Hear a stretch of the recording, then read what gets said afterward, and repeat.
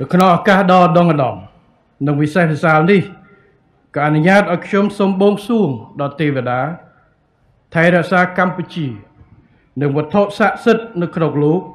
សូមបន្តជួយថែរក្សាកម្ពុជា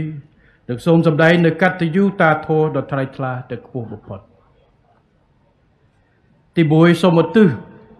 ជូនបុព្វបុរសខ្មែរគ្រប់ចំនួនទាំងអស់ ដែលបានកសាងអាណាចក្រខ្មែរដ៏ល្បីល្បាញនិងបន្សល់គេមរតកចំនួនរហូតមកដល់សពថ្ងៃទី2សូមថ្វាយព្រះបរមរតនកោដ្ឋព្រះបិតាឯករាជ្យជាតិដែលបានទាមទារឯករាជ្យនិងរំដោះប្រជាពលរដ្ឋខ្មែរពីទឹកបណ្ដានិគមបរទេសទី3សូមថ្វាយព្រះករុណាព្រះបាទសម្ដេចព្រះបរមនាថនរោត្តមសីហមុនីព្រះមហាក្សត្រនៃប្រជាជាតិកម្ពុជាព្រម ទាំងសម្ដេចព្រះមហាក្សត្រីនរោត្តមបរិយាសីហនុព្រះវរៈរាជបិតាជាតិខ្មែរដែលបានគប់ជាមលុបដ៏តិចសម្រាប់ប្រជារាស្ត្រ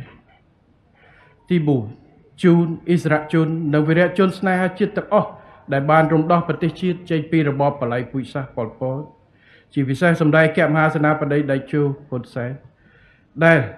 ជាស្ថាបនិកព្រួយដើមគម្រោងព្រៃជីកហ្វូដនដៃជោ និងទី5ជូនប្រជាជនកម្ពុជាគ្រប់បច្ចដ្ឋាននិងគ្រប់និន្នាការព្រមទាំងមន្ត្រីរាជការនិងកងកម្លាំងប្រដាប់អាវុធទាំងអស់ដែលបានរួបរวมគ្នាជាចលនាជាតិដើម្បីគ្រប់គ្រងគម្រោងព្រៃជីកហ្វូណនដៃជូជាប្រវត្តិសាស្ត្រ